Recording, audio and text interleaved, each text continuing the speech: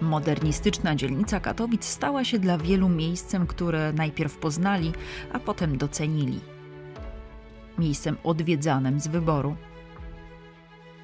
Warto się przekonać, czy taką przestrzenią może stać się także Muzeum Śląskie.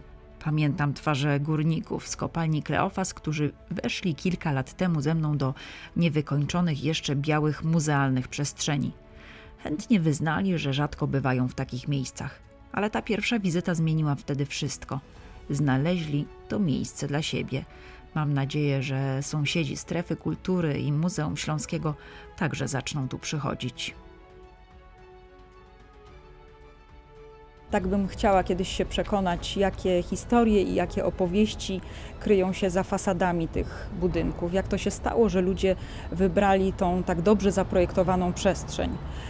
Jak to się stało, że mieszkają w tych pięknych mieszkaniach, gdzie jest tyle światła, w ogromnych przestrzeniach. Tak mi się wydaje, że właśnie ta dzielnica, dzielnica modernistyczna jest w tej chwili w procesie Coraz więcej ludzi szuka tutaj mieszkań, coraz więcej ludzi znajduje miejsce dla siebie. Dzieje się tak, że e, w agencjach nieruchomości ustawiają się kolejki, żeby właśnie w tych przestrzeniach tutaj mieszkać.